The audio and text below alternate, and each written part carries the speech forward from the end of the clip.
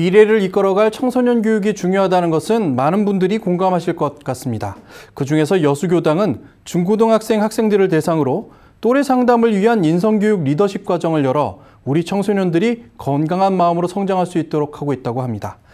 여수교당 이명윤 교무를 전화로 연결해 소식 들어보겠습니다. 교무님 반갑습니다. 아, 네, 반갑습니다. 네, 일반적으로 상담이라고 하면 선생님께 혹은 부모님께 때로는 교무님과 함께하는 것이라고 생각하기 쉬운데요. 또래 상담이라는 단어가 눈에 띕니다. 어떻게 상담이 진행되는지 소개해 주시겠습니까? 청소년기에는 아시다시피 부모보다는 친구를 더 소중히 여기고 오히려 그 친구를 통해서 문제를 해결하는 시기잖아요.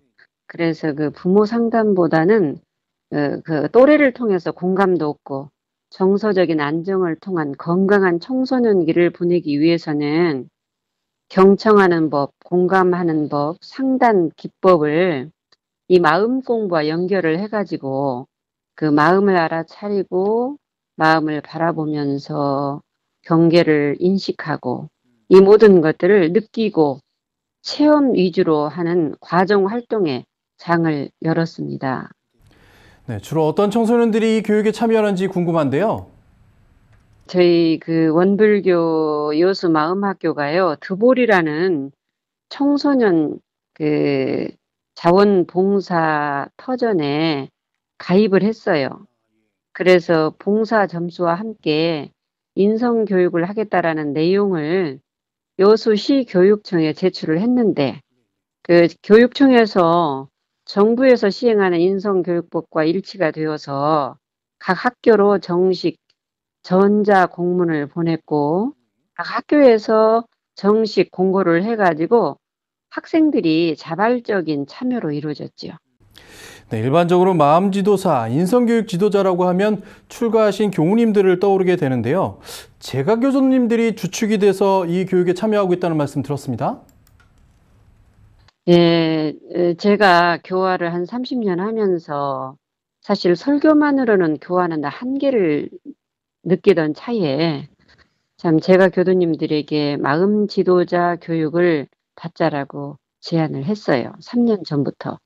한 30여 명이 모여져 가지고 원광대학교 마음인문학 연구소하고 MOU를 체결을 했어요.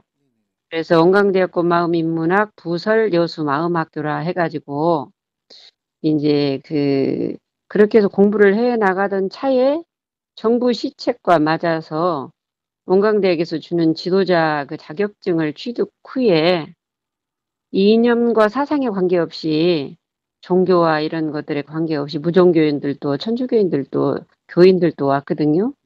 낙원 세상 이루는데 또 하나 할 일을 하자라는 그런 동기가 우리 제가 교도들하고 같이 통했기 때문에 이런 동기에서 출발을 했습니다. 네, 지역 주민과 이웃 종교 교도들까지 참여하고 있다고 하니까 프로그램의 의미가 더 큰 것 같습니다. 원불교 교화에도 큰 도움이 되지 않을까요? 아, 아직은 그 마음 공부를 통해서 원불교 인식에 대한 변화는 미미한 수준이에요. 그래 이제 각 학교 또래 상담 같은 거, 또 평생 교육원, 또 이렇게 이제 교당에서 마음 공부를 계속 하다 보면 자연스럽게 비교도들 또 지역 주민들이 드나들다 보면은 이렇게 그 드러날 것이다라는 그런 확신이 섭니다. 예. 네, 여수교당이 앞으로 계획하고 있는 프로그램도 궁금해집니다. 어떤 프로그램들이 있을까요? 그 여수 마음학교에서는 인성교육 지도자 양성을 꾸준히 했어요. 지도자. 교육만 받은 게 아니고 그래서 많은 제가 교도님들이 이 대종사님 마음 공부법을 세상에 전파를 해서 마음 지도자가 직업이 되기를 바라면서 이제 이기 모집을 지금 준비하고 있고 그걸로 인한 힐링 센터를 마련할 계획이 있습니다. 네, 곧 휴가철이 다가옵니다. 여수도 자연환경이 매우 빼어난 곳으로 알고 있는데요. 여수와 여수교당을 자랑할 수 있을 시간을 조금만 드릴까요?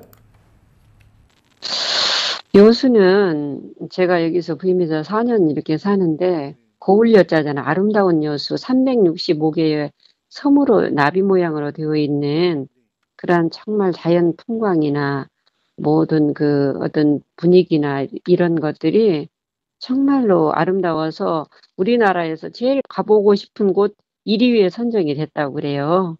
그래서 그런지 여기는 그 요양센터들이 많이 있더라고요. 예, 여러 가지 이제 그런 조건들이 맞아서 그런지 그래서 많은 사람들이 정말 와서 힐링도 하고 영혼도 맑히고 이런 것들이 더 되었으면 좋겠다. 그래서 주말에는 펜션들이 어, 하여튼 자리가 없을 정도로 굉장히 붐비고 그런 곳은 많이 찾아드는 곳이 바로 여수다. 이 여수가 모체가 되어서 마음학교도 더욱더 발전이 돼야 되겠다. 그러니까 육신과 영혼을 씻기우는 곳이 여수다. 어서 오십시오. 이쪽으로. 저도 한번 꼭 가보고 싶은 곳이 여수입니다. 아, 여수교당의 청소년들이 여수의 자연환경 환경과 함께 아름답게 성장하기를 바랍니다. 오늘 여수교당의 소식 함께 해주셔서 감사합니다. 네네, 감사합니다.